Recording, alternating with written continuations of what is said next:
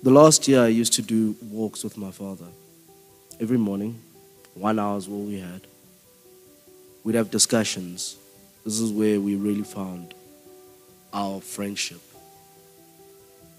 We spoke about everything from our kids, the plans of the family, the businesses, the relationships that my brother and sister and I have, the relationship that my, my dad has with my mom. I'm going to miss those things. I just want to say, I'm not ashamed to say that no man I ever met was my father's equal. And I've never loved any other man as much. This is to one of my best friends.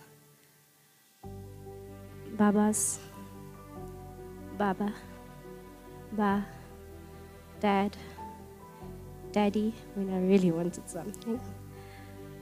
And his nicknames for me, Dombiam, my sweetie no no, baby, Tanam. My dad really always made time for me, even if it had to mean getting on a golf cart and sitting through the eight holes just to have a quick conversation before catching a flight back to Cape Town. He would call me in the mornings to say, Come, let's see what I'm gonna wear in Bali, and model for me and be like, Look, baby, your dad is cool. and I just laugh at him and we'd tease each other. Um, I'll miss the secret pre reveals of mom's gifts or scheming for events and birthdays together and see how much we can surprise people. I'll miss how much pride you took in me, how you kept me so protected. That's why I'm not married yet. um, he big enough for next Namu Baba. And uh, I don't think I'll get that from anybody.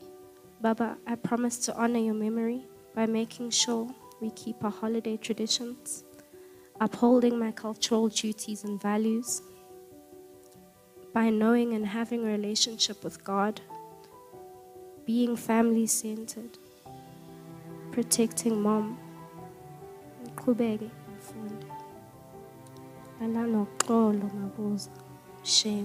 shabalala. Over the last few days, we've had quiet conversations as siblings when those that have come to comfort us have left and the somber emptiness fills our house.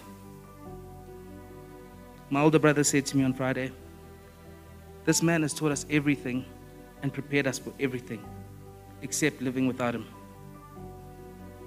I've also reflected on this, and I'd like to disagree with you, my brother. As Umar Khanyacho said, he was a master of assembling the perfect team in his professional life, and it is no different when it comes to us.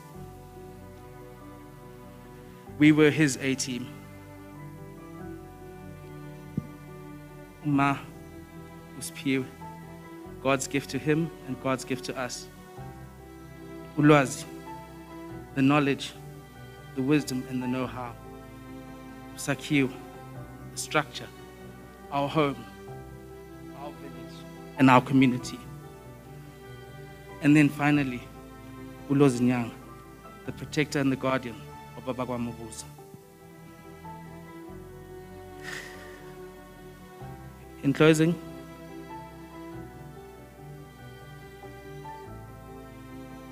I'd like to ask everyone from wherever you are and wherever you're joining us from. For those that are, are in this venue and others that are at our home and at Montecasino, those in Montecasino, you are literally standing in the house that Jabu built. So, for the last time, I'd like you to please give one last round of applause for Dr. Jabu Mabuza.